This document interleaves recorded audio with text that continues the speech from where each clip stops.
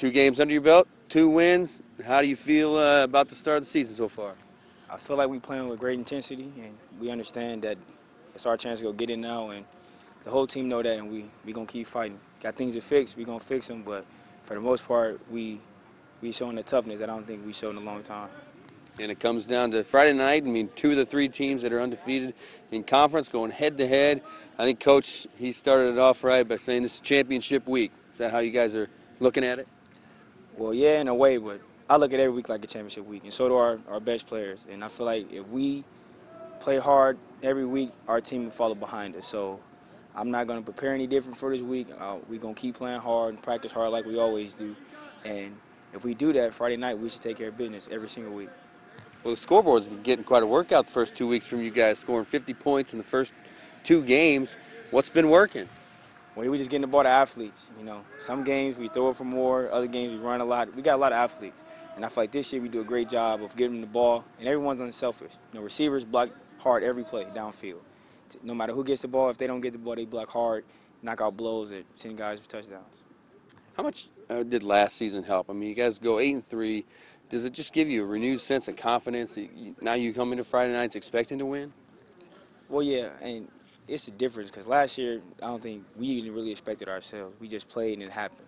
This year we we expected, you know, to go out, we beat a team, and then that team beat us in section to go to semi-state.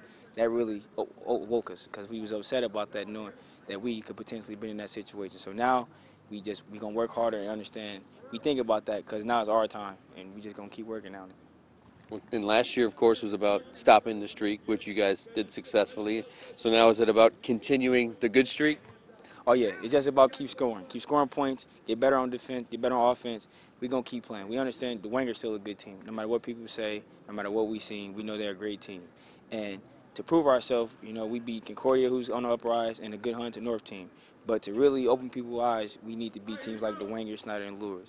So we always got to keep that mindset in, in our heads. Is it hard at all as a player to kind of look and see, you know, the scores of the first two weeks? And Dwenger, you know, they're not overpowering anybody. They're getting wins, but they don't come across as the Dwenger of old. Is it tough for you guys to, to realize, you know, it's still a Dwenger football team? No, I don't think so at all. Because at the end of the day, we got the wins, but we didn't reach any goals, you know.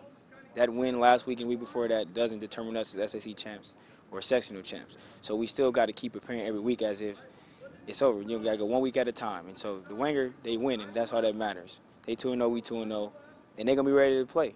They love that streak, and we stopped it, and they're going to come back and prove that Northside can compete with them. And it's our job to go out there and show them that we can. So what do you think it's going to come down to Friday night? The better offense, we're going to score points on offense regardless. The best defense step up, it's going to be a good game. But the person who make the big plays, the team that come out on fire, you know, intensity, starters, players, the key guys got to come out with fire and intensity and want to get the win. You can't come out satisfied or feeling like you're already the best. Going to go in that game like we haven't won anything, just as we do every week, and get the job done.